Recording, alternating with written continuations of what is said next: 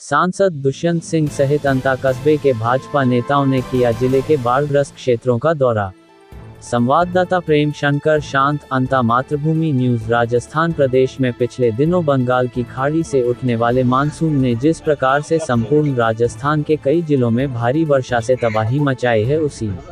से कई जिलों में जनजीवन अस्त व्यस्त हुआ है। इसी के अंतर्गत बारान ज़िले में भी काली सिंध नदी में उफान आने की वजह से ज़िले कई गाँव बाढ़ग्रस्त हो गए और कई तरह की हानि हुई, जिसके लिए पिछले कुछ दिनों से राजस्थान के पूर्व मुख्यमंत्री वसुंधरा राजे सिंधिया, बारान झालावाड़ से सांसद दुष्यंत सिंह भी ज़िले के सैकड़ों भाग जपा नेताओं के साथ बाढ़ग्रस्त क्षेत्रों का दौरा कर रहे हैं। उनके इस दौरे में बारान से भाजपा जिला अध्यक्ष जगदीश मीना पूर्व विधायक डॉक्टर कंवर लाल मीना सीपी विजय पूर्व जिला अध्यक्ष भाजपा